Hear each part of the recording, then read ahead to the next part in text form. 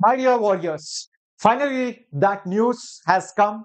Yes, and it's a breaking news because the official update by CBSE regarding your final dates of class 10th and class 12 board examinations. A couple of days back, they had released the tentative dates to warn us in advance, which was a very good move. I really appreciate it. And now the actual dates have been announced. So let's have a look at it so that we can see what is in store for us, how much gap is there, and how should we really be preparing. So if you are new to the channel, please subscribe because this is the number one JEE English channel. Not only do we give you JEE content, but also the CBSE content for your preparation. Already playlists are there. And if you're already subscribed, do not forget to like this video. Okay, this is your Captain Shreyas, your physics master teacher. So let's begin. As you can see right over here, the official notice is out. Okay, how you can uh, see this? Very simple. Go to the official CBSE website, cbse.gov.in. Click on the main website. Click on this. You will see this page will open up. Okay, something like this. Go down. You can see latest at CBSE. Click on the first link. Date sheet for 10th and 12th exam. This was released today, 30th of October, just couple of minutes back. Okay. Now this PDF will open. Let's have a look at it. I know you guys are tensed. Don't worry. Don't be nervous. I will explain it to you. There is nothing to be afraid of. Okay, it's just normal date sheet. All right. So they are addressing all the schools and everything regarding the uh, uh, article, and uh, they have mentioned that you know they have already informed when the examination will start. The tentative dates were already declared in the previous article. So they're just mentioning that. Now there are particular things which they have taken into consideration. Let's have a look at it. These three, four points are important all schools have submitted their LOC. CBSE has now the final data of all the combinations. Because remember a couple of days back CBSE had asked to verify everything. And now that they have who stu uh, which student is giving which examination they know the combination. So scheduling the exams making the timetable is now easier for them. That is why they had asked it.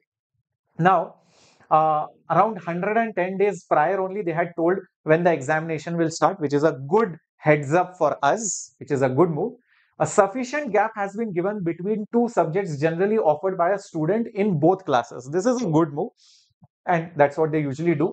The date of conduct of the examination of class 12 have been considered, taken into consideration and efforts have been made to complete the examinations much before entrance exam. This will help the students for better time management for board and entrance.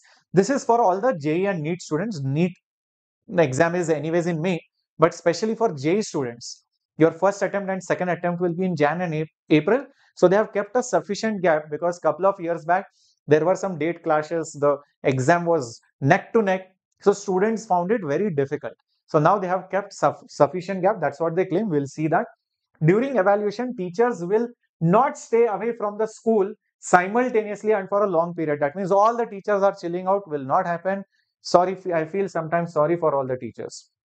Date sheet has been prepared by avoiding more than 40,000 subject combinations to ensure no two subject examinations offered by a student will fall on the same date. So your examination will never clash no matter what.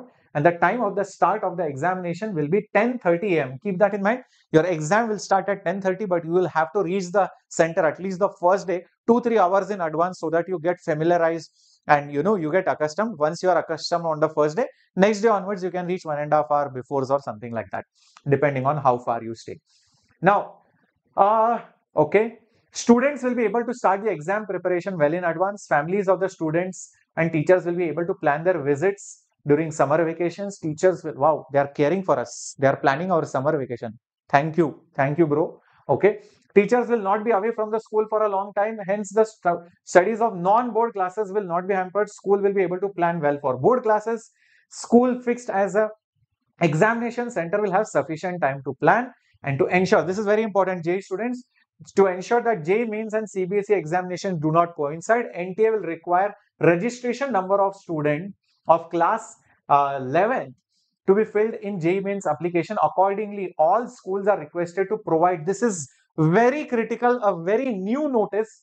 Accordingly, all schools are required to provide the registration number of class 11 to the students for applying for JEE Mains. This is a very important breaking news for all the CBSE students appearing for JEE Mains. Please read this again and again because you do not have your class 12th mark sheet when you are applying for the JEE mains. The forms will be released very soon. It's expected anywhere between now or next 5-10 days it will be released.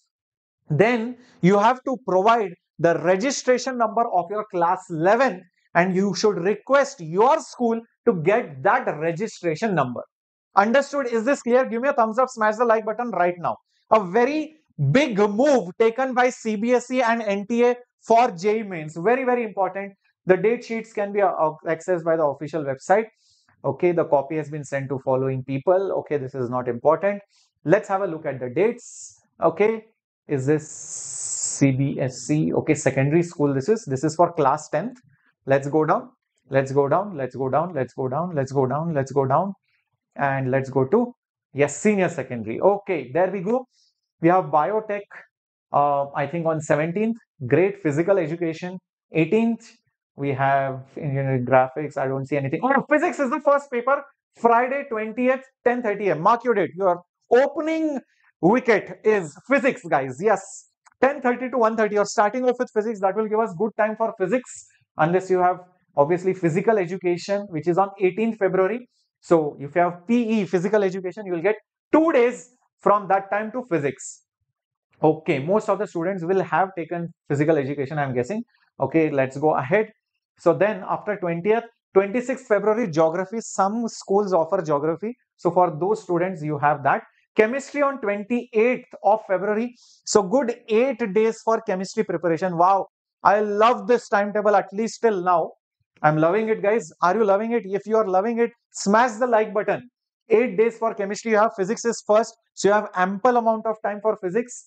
And then, then, then, then, then have you, please tell me if I missed something, okay? The major subjects, especially. Okay, these are all uh, languages. Mathematics, 9th of March. Wow. So many days, 8, 9 days for mathematics. 8 to 9 days for mathematics. Isn't it amazing, guys? So cool. I'm loving it. Your PCM is done by 9th of March. Major tension is gone. Where is our English? Where is our English? English, English. 12th March. So we have three days from 9 to 12. I think it is good enough.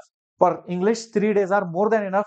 So by 12th of March, you're almost done. But there is one big ghost who is still remaining. remaining. Who is that? Computer science. Yes, you heard it right. But for majority of you, tension will be over. Okay, from 12th of March till first week of April, you are getting some time, 28 days for JEE main second attempt preparation. Okay, let's see.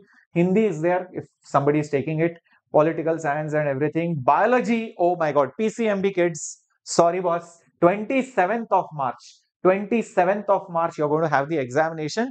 So if you're a NEET aspirant, then you know you are going to get one month and few days for your preparation after the board examination. Else, if you're a JEE aspirant and you're taken, if you are a very heroic, you are an ultra pro max person, then biology is going to be a spoil sport over here.